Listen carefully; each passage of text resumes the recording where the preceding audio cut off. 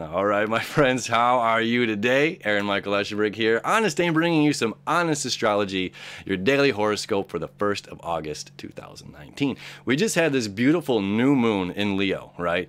The new moon in Leo is resparking the faith in ourselves, the courage that we have, our own leadership roles, right? It's igniting the fire right? And we had a beautiful trine to Chiron in Aries, which is the spark of the match, saying, hey, you can do this, friend. You are this strong enough, you know, seed that was planted that can break through the ground and break through that concrete and grow into this beautiful sequoia, right? This giant tree that's going to, you know, produce shade for all the others. You know what I mean?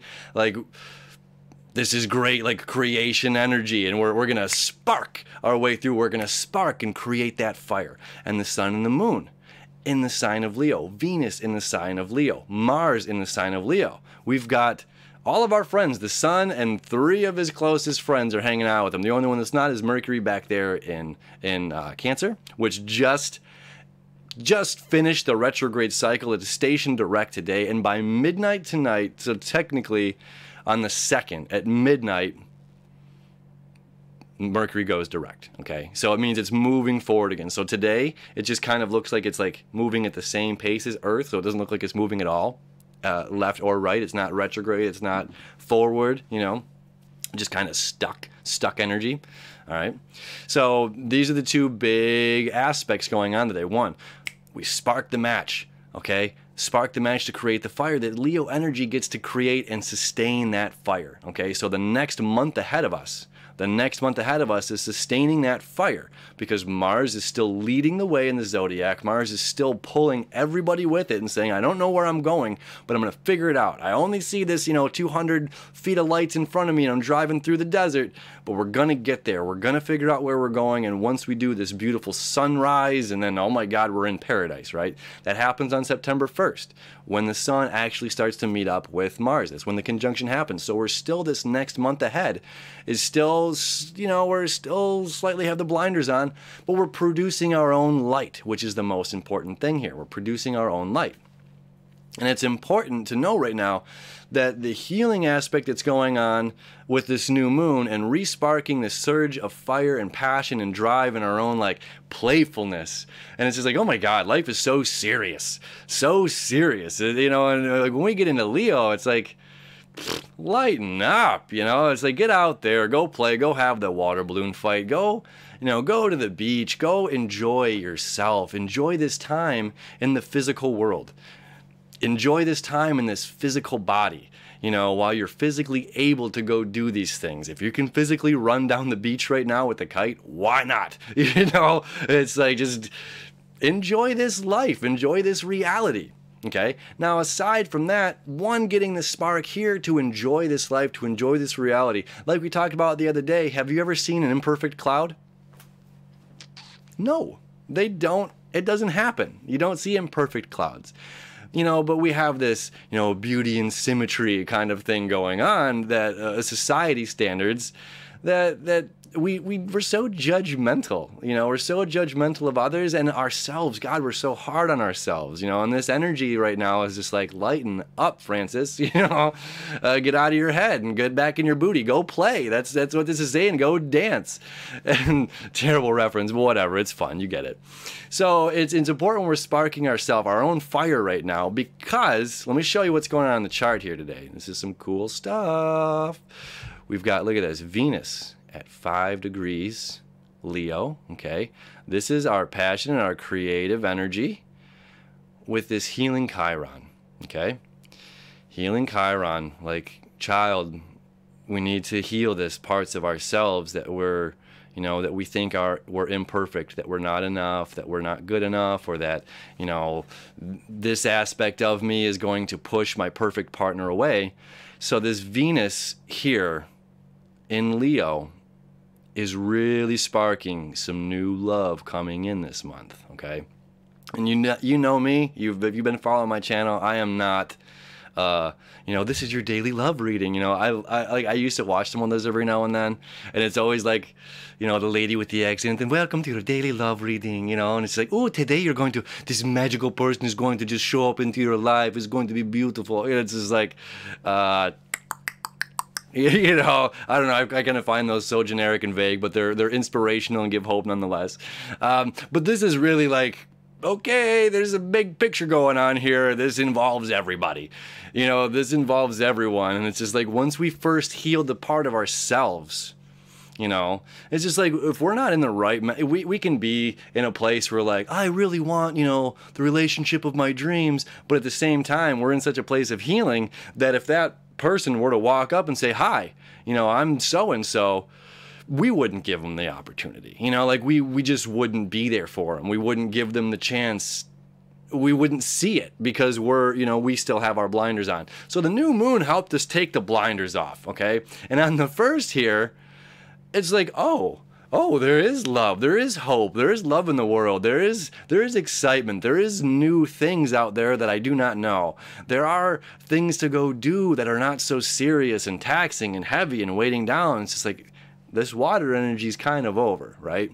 And now that Mercury is in is in Cancer and starting to move forward, what this means is we're no longer pulling down, right? We're no longer holding back and holding within these thoughts that we want to communicate for fear, right? If I reach out, oh my God, you know, I uh, if I reach out to this person that I that I think is cool or attractive or whatever it is and they don't like me the same it could ruin our friendship it could ruin whatever we have you know and it's just like well uh, shit or get off the pot you know it's you're either going to say something and, and, and, and, and see if, you know, you're either going to plant the seed and watch it bloom or you're going to plant the seed and, and maybe it doesn't bloom, but that's okay. Like the, the point is being authentic and being real and being true to yourself. So it's like following those urges, following those instincts right now.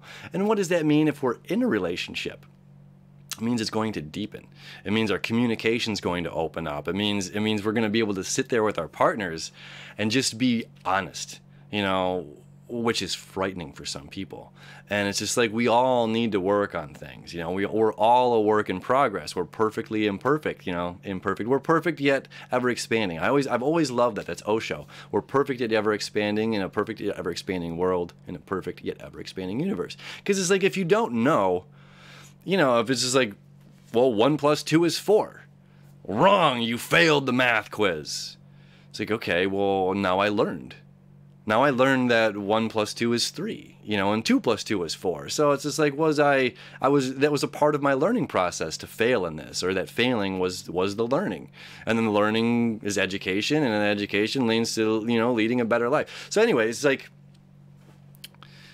we're, we're, we're, we're always expanding. We're always expanding. And this is the year of expansion, right? So we're expanding ourselves, expanding our hearts, expanding our communication, which is so key because we, we've been we've been held back for so long, or like you know this tit for tat kind of a thing, and very conditional, and like pointing our finger, and you are the toxic person, and you are this. But it's like, look, we've created that toxic you know relationship. We're always a perfect, perfect, perfect, harmonious match to whoever we're inviting into our lives, which can be very you know daunting and and and, and like we want to push that idea away sometimes but when we break it down you know the antenna is only going to dial into the station that you dialed into you know so if it's 97.9 you're going to hear 97.9 if it's 104.3 the oldies that's the station you're going to hear. So, however we dial our antenna, that's who we get that perfect vibrational match to, right? So, it's like we're no longer blaming, we're no longer pointing our finger and criticizing, you know, it's, well, my mom didn't teach me that one and two is three instead of four, or it was my dad, or, or my teacher didn't explain this and didn't give me the attention that I needed to make sure that I was succeeding, you know?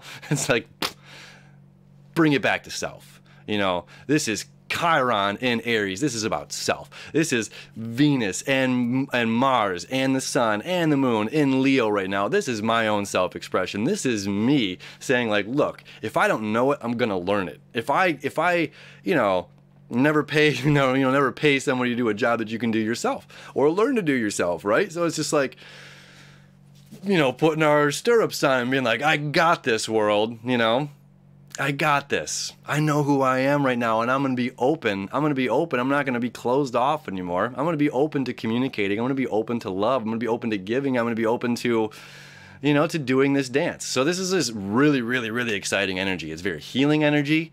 It's very passionate. It's very fun. It's very loving. It's very lovable energy. And it's a beautiful way to start out the month of August. Because again, all the way until the 1st of September, Mars is leading the way. And then on the 1st, the sun takes over. So we're still in this forging our tools, right? The fire is forging our tools. And then when it comes to Virgo, it's perfection. So that's around, you know, August 23rd, something like that, August 22nd, 23rd. You know, we're going to be perfecting this. So within this next, you know, 20 days, we're really creating our tools. We're really forging our tools. So it's really important to do that and to mingle in the meantime because, you know, our our interactions with others, that playfulness leads to the work breakthroughs that we have. It leads to all of the other things. It's so important to to balance, you know, the work, the staying at home, and the going out and playing. And with all of this energy in Leo, it's it's really pushing us to like enjoy the summer. You only have a few you only have a few more weeks before that teeter totters. It's like if you haven't been to the beach yet, get out there. Uh, so that's your day. That's our day, and that's leading up. And this whole, you know, the next 20 days ahead of us here is very playful, fun, light energy. Stick with me. You know, stick around for the dailies. Obviously, there's a lot going on.